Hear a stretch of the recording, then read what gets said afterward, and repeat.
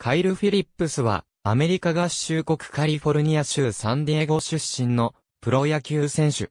兄は元メジャーリーガーのジェイソン・フィリップス。2002年の MLB ドラフトで、ミネソタツインズから10巡目で指名を受け入団。2006年に、ミルウォーキーブルワーズ参加に移籍。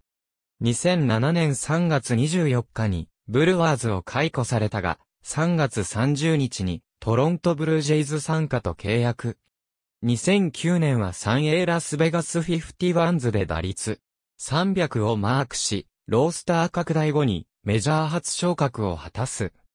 9月14日のデトロイトタイガース戦でメジャーデビューし、7回にジャスティン・バーランダー投手からメジャー初安打を放った。結局この年は5試合の出場に終わったが、JP リッチアーディ GM はフィリップスはメジャーで通用する力があると語り、2010年はバックアップ捕手として定着することを期待していた。2010年シーズン途中にサンディエゴパドレスに移籍。